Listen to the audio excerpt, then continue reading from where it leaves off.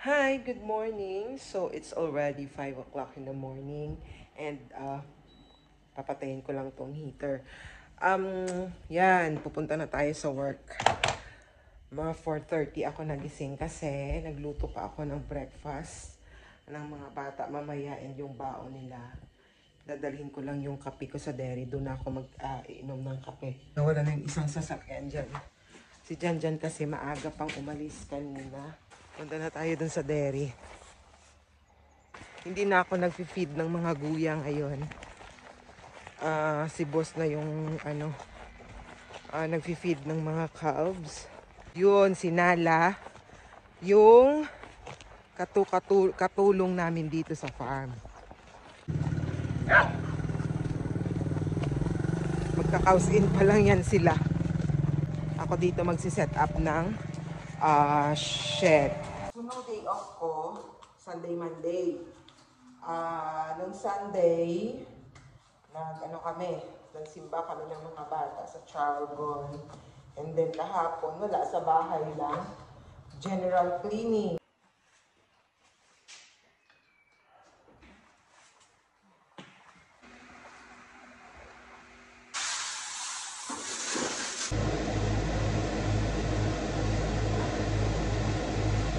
Ayan na sila dyan.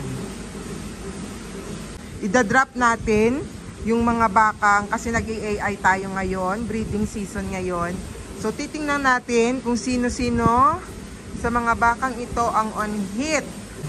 So paano ba natin malalaman na on hit yung isang baka? Tingnan natin yung mga ah, ko, mga ibang signs kung ano yung mga signs na on hit yung isang baka. Yan, meron ako nakita dyan, yung isa doon. Ah, ito, ito, ito, ito, ito. Yan, on hit yan siya. Kasi yung kanyang, dalawa sila actually. Dalawa sila, so itong isa kanina, parang ah, ira-ride on niya sana yung isa. Kasi nga, pareho silang on hit. Ito, ito, yan. May mga scratches dyan siya. So, nung nakaraan, nilagyan natin sila ng stickers na ganito. Yan, stickers na ganito, na ganyan. Yan. Ito, so ito yung itsura ng stickers. Yan yung unang lagay ng stickers. Pag na-scratch yan, nagiging all pink talaga siya. Kagaya ng isa nun, nalaglag. Tingnan ko lang, ba't ang daming feeds na andito? Hindi siguro nila napatay kahapon yung ano, yung feeder. Parang lahat ata ng ano, bale mayroong feeds. Ne, excuse anay ne. Pagya ko danay ne. Okay, mag-start na tayo. So, i-drop natin yung mga bakang on hit. So, isa nga sa mga palatandaan na on hit yung ating baka is meron silang mga scratch sa likod.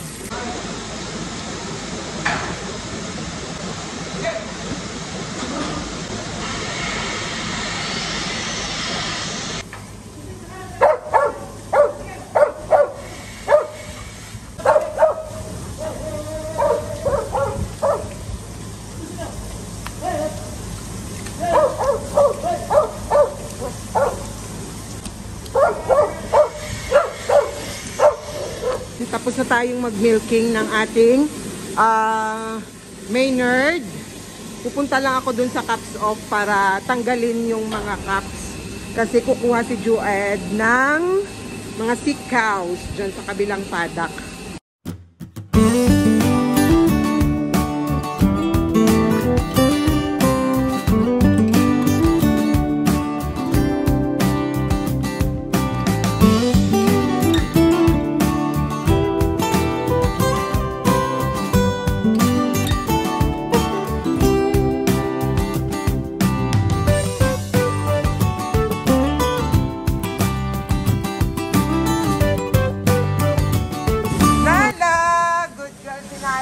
Very good ba? Very good! Very good! Very good! So ito na yung mga AI cows natin. Kung makikita nyo, yan yung mga AI. Mga on-hit na mga baka. So paano natin malalaman kung mga on-hit na sila? Gaya nga lang sabi ko, ah... May mga rab doon sa kanilang likod. Yun, ibig sabihin, yung dalawang bakang yan is on hit yan sila. Pag nakita mo yung dalawang baka nagkaganyan or isang baka nagkaganyan sa isang baka, ibig sabihin, dalawa sila on hit.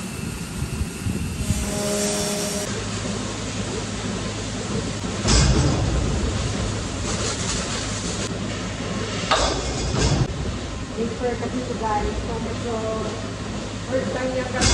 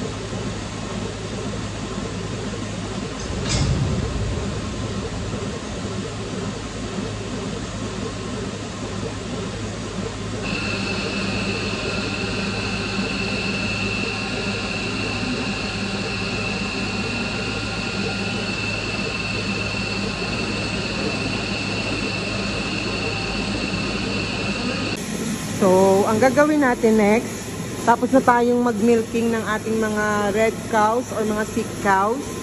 Yung mga AI cows na ito, ililista natin yung kanilang mga numbers. Yan, para sa ating recording.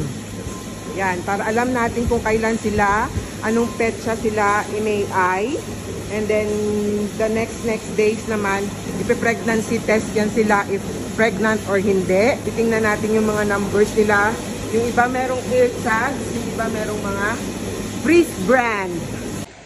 So, ayan guys, nagpa-plant wash na ako ngayon. Iba naman yung suot ko.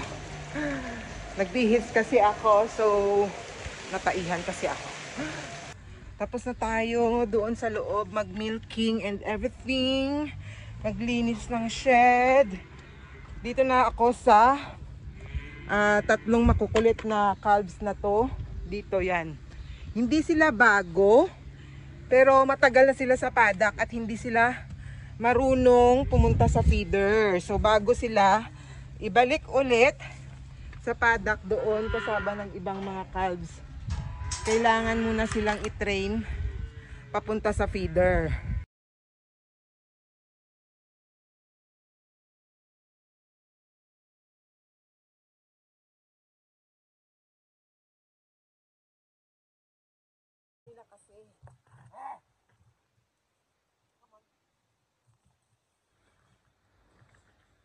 Maganda i-train yung mga bagong panganak talaga. Kasi madali silang papuntahin sa feeder ito. Maghahabulan pa kayo tapos sisipain ka pa kahapon. Sinipa ako ng isang baka dito sa puhod. Hanggang ngayon ang sakit. Ito talaga yung sumi...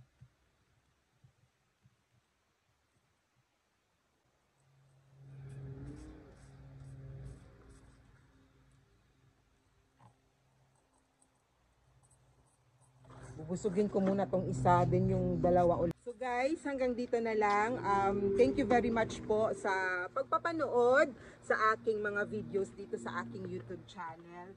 Ah, kapag ah, bago lang po kayo dito sa aking channel, please do subscribe po and click the notification button para po ma-notify kayo kapag mayroong mga bagong um, videos ako na ina-upload at sa mga subscribers ko na walang sawang ah, sumusuporta sa akin at nanonood sa aking mga videos.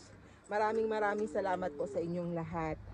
Tatapusin ko lang to and then uwi na ako for um, ah, breakfast or lunch break. Babalik kami mamaya mga 2.15 para mag-set up ako and then um 2.30 makapag-start na kami ng cups on. Thank you very much! Bye!